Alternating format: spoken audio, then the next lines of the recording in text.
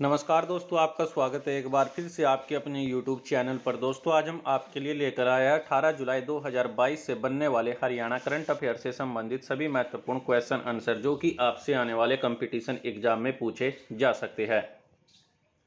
Most important question all competition exam in Haryana. तो चलिए दोस्तों, शुरू करते हैं। तो दोस्तों, आज का फ़र्स्ट क्वेश्चन है, हरियाणा की रहने वाली भगवानी देवी के द्वारा इंग्लैंड में आयोजित वर्ल्ड मास्टर एथलेटिक्स चैंपियनशिप में कितने मेडल जीते गए हैं? तो दोस्तों, इसका ऑप्शन नंबर आपका ए रहेगा, यानी तीन मेडल। हरियाणा की रहने वाली भगवानी देवी के द्वारा इंग्लैंड में आयोजित वर्ल्ड मास्टर एथलेटिक्स चैंपियनशिप में तीन मेडल जीते गए हैं। और ये तीन मेडल, इनमें से आपका एक स्वर्ण और दो ब्रॉन्ज शामिल है। भगवानी देवी के द्वारा 100 मीटर की दौड़ में गोल्ड मेडल जीता गया है और इन्होंने 100 मीटर की दौड़ को चौबीस पॉइंट चौहत्तर मिनी सेकेंड में 100 मीटर की दौड़ को पूरा किया है। और भगवानी देवी चौरानवे साल की उम्र में ऐसा करने वाली पहली महिला बन गई है। और इसके अलावा इन्होंने डिस्कस थ्रो में ब्रॉन्ज मेडल और गोला फेंक इन दोनों में इनके द्वारा ब्रॉन्ज मेडल जीता गया है। और इसका आयोजन इंग्लैंड में किया गया था। नेक्स्ट क्वेश्चन है, चेन्नई में आयोजित नेशनल बॉक्सिंग चैंपियनशिप में किसके द्वारा गोल्ड मेडल जीता गया है? तो दोस्तों, इसका राइट आंसर रहेगा प्रांजल के द्वारा। चेन्नई में आयोजित नेशनल बॉक्सिंग चैंपियनशिप में 70 किलोग्राम कैटेगरी में गोल्ड मेडल जीता गया है। नेक्स्ट क्वेश्चन है अंडर ट्वेंटी एशियन कुश्ती चैंपियनशिप में हरियाणा के खिलाड़ियों के द्वारा कितने पदक जीते गए हैं? तो दोस्तों, इसका राइट आंसर रहेगा आपका छह पदक। अंडर ट्वेंटी एशियन कुश्ती चैंपियनशिप में हरियाणा के खिलाड़ियों के द्वारा छह पदक जीते गए हैं और भारत के द्वारा इसमें दस पदक जीते गए। भारत ने इसमें एक स्वर्ण पाँच सिल्वर और चार ब्रॉन्ज जीते हैं और भारत का इसमें दूसरा स्थान रहा है, जबकि पहले नंबर पर ईरान और तीसरे नंबर पर कजाकिस्तान देश रहा है। नेक्स्ट क्वेश्चन है।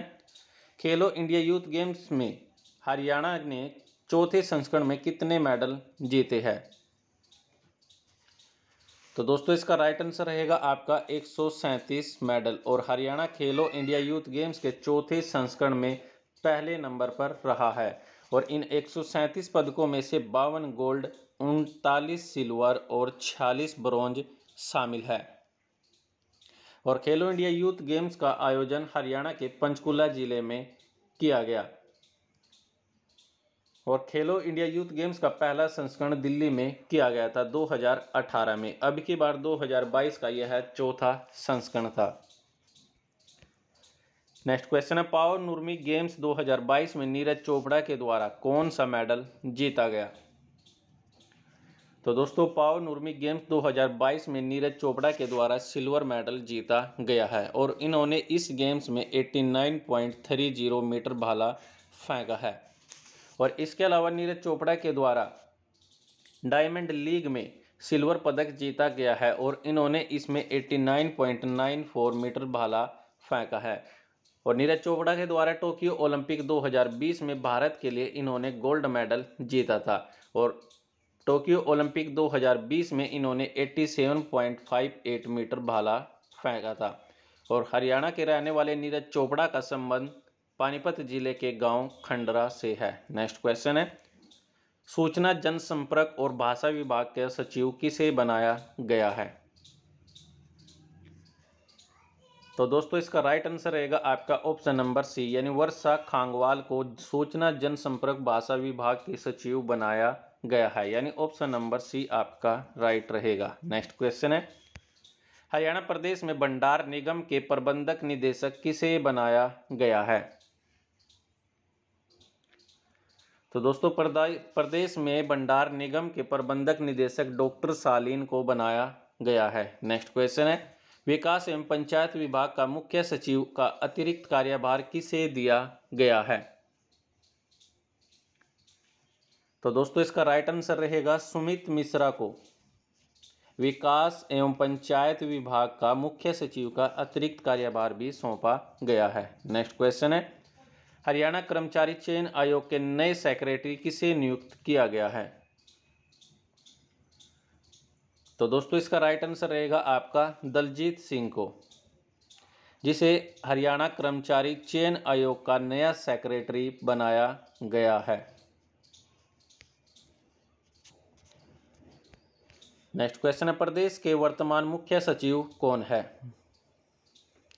तो दोस्तों, वर्तमान में प्रदेश के मुख्य सचिव है संजीव कौशल। नेक्स्ट क्वेश्चन है, हरियाणा के किस ज़िले में तिहत्तरवां वन महोत्सव मनाया जाएगा। तो दोस्तों, इसका राइट आंसर रहेगा आपका ऑप्शन नंबर सी यानी हरियाणा के कुरुक्षेत्र ज़िले में तिहत्तरवां वन महोत्सव मनाया जाएगा। कुछ कुरुक्षेत्र ज़िले की स्थापना उन्नीस सौ तिहत्तर में की गई थी। नेक्स्ट क्वेश्चन है, प्रदेश के द्वारा पचहत्तर वर्ष से अधिक आयु के पेड़ों के संरक्षण के लिए कितनी पेंशन प्रदान की जा रही है? तो दोस्तों, इसका राइट आंसर रहेगा आपका दो हज़ार पाँच सौ रुपये जो कि सरकार के द्वारा पचहत्तर वर्ष से अधिक आयु के पेड़ों के संरक्षण के लिए दो हज़ार पाँच सौ रुपये की राशि प्रति वर्ष प्रदान की जा रही है। और हरियाणा इस योजना को लागू करने वाला देश का पहला राज्य बन गया है। नेक्स्ट क्वेश्चन है, प्रदेश का वृक्षों का आवरण कितना कम हो गया है?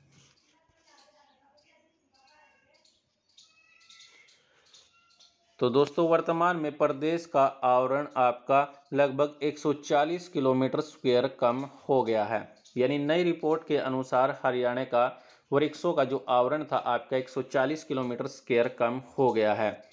हरियाणा प्रदेश का पंद्रह वर्ग किलोमीटर स्क्वायर वृक्षों का आवरण था, जो कि अब घटकर 1425 किलोमीटर स्क्वायर रह गया है। यानी 140 किलोमीटर स्क्वायर की कमी आई है।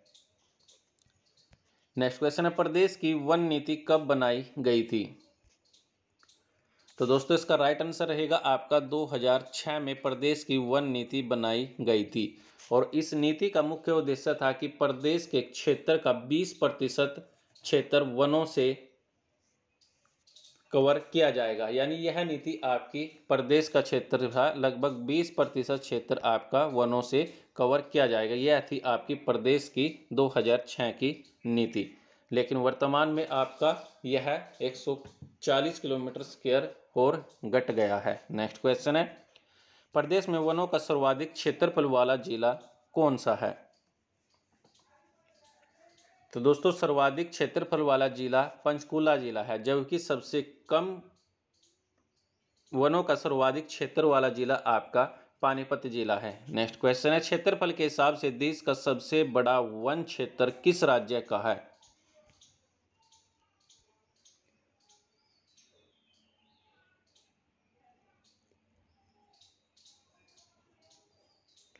तो दोस्तों, देश का सबसे बड़ा वन क्षेत्र मध्य प्रदेश राज्य का है। नेक्स्ट क्वेश्चन है। पर्यावरण तथा जलवायु परिवर्तन तथा वन विभाग किसके पास है?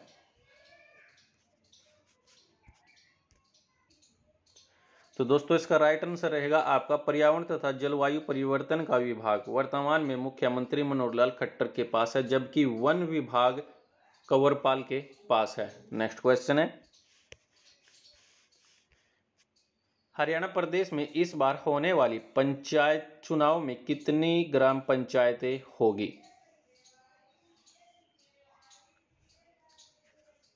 तो दोस्तों, इसका राइट आंसर रहेगा आपका। ऑप्शन नंबर सी यानी छः हज़ार दो सौ अट्ठाईस पंचायत, जो कि आपकी प्रदेश में होने वाले पंचायती चुनाव में अब की बार छः हज़ार दो सौ अट्ठाईस पंचायतें का चुनाव लड़ा जाएगा। इससे पहले आपकी हरियाणा में ग्राम पंचायतों में, यानी चुनाव होने में ग्राम पंचायतों की संख्या छः हज़ार दो सौ पाँच थी। अब इसे बढ़ाकर छः हज़ार दो सौ अट्ठाईस किया गया है, यानी लगभग तेईस ग्राम पंचायतों की बढ़ोतरी हुई है। नेक्स्ट क्वेश्चन है, सबसे अधिक ग्राम पंचायतों वाला जिला कौन सा है? तो दोस्तों, सबसे अधिक ग्राम पंचायतों वाला जिला यमुनानगर जिला है और सबसे कम ग्राम पंचायतों वाला जिला फरीदाबाद जिला है। यमुनानगर ज़िले में ग्राम पंचायतों की संख्या चार सौ नब्बे है, जबकि फरीदाबाद में ग्राम पंचायतों की संख्या 100 है। नेक्स्ट क्वेश्चन है, प्रदेश के वर्तमान राज्य चुनाव आयुक्त कौन है?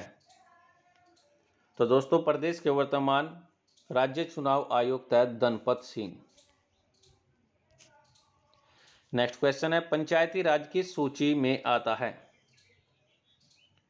तो दोस्तों, पंचायती राज ग्यारहवीं सूची में आता है। नेक्स्ट क्वेश्चन है, संविधान का कौन सा अनुच्छेद राज्य को ग्राम पंचायतें स्थापित करने का आदेश देता है? तो दोस्तों, इसका राइट आंसर रहेगा आपका अनुच्छेद 40 जो कि राज्य को ग्राम पंचायतें स्थापित करने का आदेश देता है, जबकि ग्राम पंचायतों का वर्णन अनुच्छेद दो में किया गया है। नेक्स्ट क्वेश्चन है। पंचायती राज किस सूची का विषय है? तो पंचायती राज राज्य सूची का विषय है। नेक्स्ट क्वेश्चन है। हरियाणा के किस ज़िले में मुख्यमंत्री मनोहर लाल के द्वारा सूरजकुंड में स्थित राजहंस होटल में आयोजित तीन दिवसीय प्रशिक्षण शिविर का उद्घाटन किया गया है। तो दोस्तों, इसका राइट आंसर रहेगा आपका ऑप्शन नंबर बी यानी फरीदाबाद ज़िले में। हरियाणा के फरीदाबाद ज़िले में मुख्यमंत्री मनोहर लाल खट्टर के द्वारा सूरजकुंड में स्थित राजहंस होटल में आयोजित तीन दिवसीय प्रशिक्षण शिविर का उद्घाटन किया गया है। नेक्स्ट क्वेश्चन है डॉक्टर राजेंद्र प्रसाद के सपनों का शहर कौन सा जिला कहलाता है? तो दोस्तों, इसका राइट आंसर रहेगा आपका फरीदाबाद जिला, जो कि डॉक्टर राजेंद्र प्रसाद के सपनों का शहर कहलाता है। नेक्स्ट क्वेश्चन है 2022 में कौन से सूरजकुंड मेले का आयोजन किया गया है? तो दोस्तों 2020 में पैंतीसवें सूरजकुंड मेले का आयोजन किया गया। जबकि 2020 और 21 में कोविड 19 की वजह से सूरजकुंड मेले का आयोजन नहीं किया गया था। और 2022 में थीम राज्य जम्मू कश्मीर रहा है, जबकि पार्टनर कंट्री उज्बेकिस्तान रहा है। नेक्स्ट क्वेश्चन है, कौरपाल गुर्जर का संबंध किस ज़िले से है? तो दोस्तों कौरपाल गुर्जर का संबंध हरियाणा के फरीदाबाद ज़िले से है। नेक्स्ट क्वेश्चन है, बजरी खनिज का सर्वाधिक उत्पादन किस ज़िले में होता है? तो दोस्तों, बजरी खनिज का सर्वाधिक उत्पादन भी फरीदाबाद ज़िले में किया जाता है। नेक्स्ट क्वेश्चन है, जो आप सभी के लिए कृपया कमेंट करके ज़रूर बताइए। कि हरियाणा प्रदेश के किस ज़िले में भारतीय संगीत का म्यूज़ियम बनाया जाएगा? हमारे पास फोर ऑप्शन है अम्बाला करनाल, पंचकूला या पानीपत में।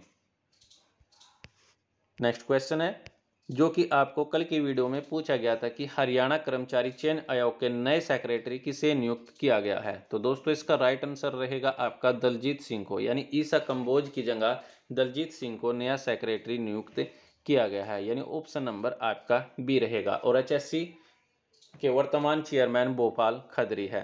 तो फ़िलहाल के लिए दोस्तों, आज के लिए इस वीडियो में इतना ही। वीडियो अच्छी लगी तो वीडियो को लाइक कीजिए, कमेंट कीजिए, शेयर कीजिए और सब्सक्राइब कीजिए माजी साइंस को। वीडियो देखने के लिए आप सभी लोगों का धन्यवाद।